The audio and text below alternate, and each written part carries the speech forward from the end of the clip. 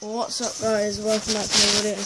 Today I'm going to be doing a week 21 Premier League predictions. I was just playing Fortnite so I need like,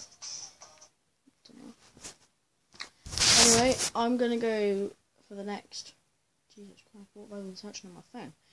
Um, I'm going to be doing the Premier League predictions for week 21. Obviously I did the week 21 and I got I'm not even gonna say what the results were because I got every single one wrong. So what's the early kickoff? So the early kickoff is kicking off starting with Sheffield United obviously on Friday. Sheffield United and West Ham. I'm just gonna go straight in for a two one West Ham win straight in. Crystal Palace hosting Arsenal. I'm just going to go for. I'm going to go for a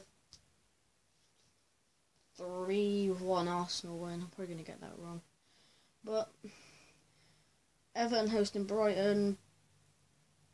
2 1 Everton.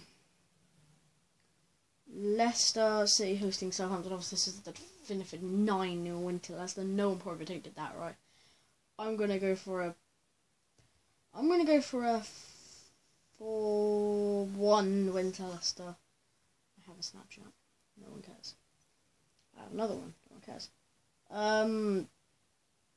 Manchester United hosting Norwich. I'm just going to go for a straight up 3 1 win to Manchester United. And my team, Chelsea hosting Burnley. I'm just going to go straight in with a 2 1 win, Chelsea win. 2 1 Chelsea win. Next, Wolverhampton Wanderers hosting Newcastle. I'm going to go on for a.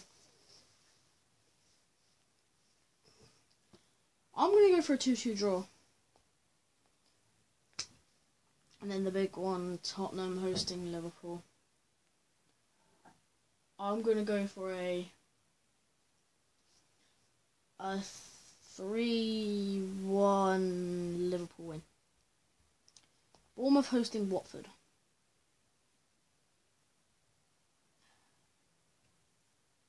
This is a tough game actually because Watford have been in the greatest form. Bournemouth have been in rubbish form.